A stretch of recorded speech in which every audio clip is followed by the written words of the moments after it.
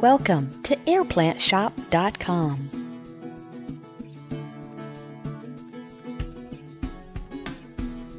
Today we feature the Ionantha Mexican Druid. The Druid comes in two different forms, the Guatemalan and the Mexican Druid.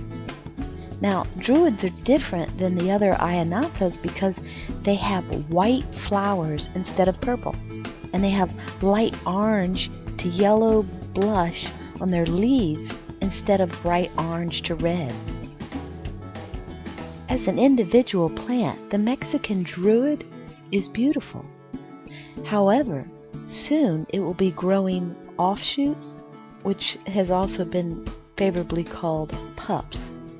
The pups look like little babies at the base of the plant, and you want to be very careful not to accidentally peel them off. Once the pup is 50% the size of the mother plant, you can either peel it off or allow it to grow into a large Ionantha cluster, Mexican Druid Ball.